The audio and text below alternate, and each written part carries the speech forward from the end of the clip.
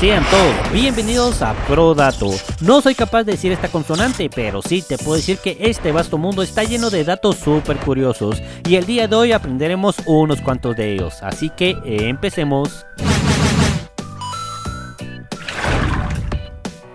¿Sabías que la Biblia afirma que existen los unicornios? Y no es que haga una referencia hipotética de él, sino que en verdad lo menciona en más de 7 ocasiones, como por ejemplo en Job 39 del 9 a 12, en la cual dice que el unicornio por ser grande su fuerza es inútil en el trabajo agrícola, negándose a servir al hombre. También es mencionado en el Salmo del 22 a 21, sálvame de la boca del león y óyeme, líbrame de los cuernos de los unicornios. Y así como estos, hay muchos ejemplos más, los cuales tú personalmente los puedes buscar si así lo deseas, y esto ha provocado más disturbios en el libro más vendido a nivel mundial, y es que como todos sabemos, el unicornio no es más que un animal mitológico de la mitología griega, en donde se le hacen muchas menciones, sin embargo, algo que pocos saben es que la primera mención de este mágico animal fue hace 400 años antes de Cristo por el explorador griego Cetías, durante su exploración que lo mencionó como un animal silvestre de la India, con la apariencia de un caballo, pero con el caballo robusto y grande y la cabeza púrpura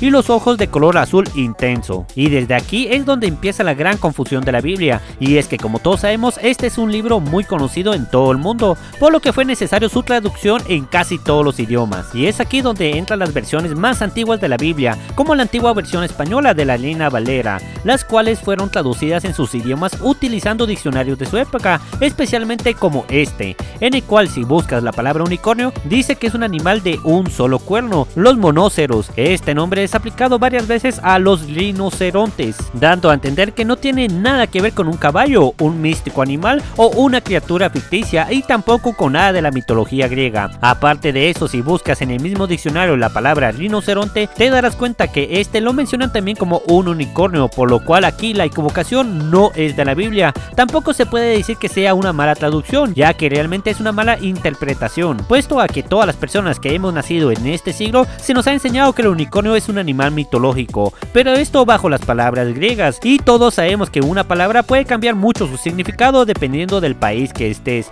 como por ejemplo la palabra popusa, en que su país natal es una comida muy buena por cierto, pero si vienes a mi país y dices quiero una buena popusa, lo más probable es que te den una buena cachetada, ya que aquí significa otra cosa que también es buena, pero no vamos a hablar de eso justo ahora, así que mejor aquí termina el video. Espero que les haya gustado y si fue así ya sabes qué hacer, regáleme un me gusta y compártelo con tus amigos para que todos aprendan este nuevo pro dato. Eso ha sido todo por hoy chicos, hasta la próxima.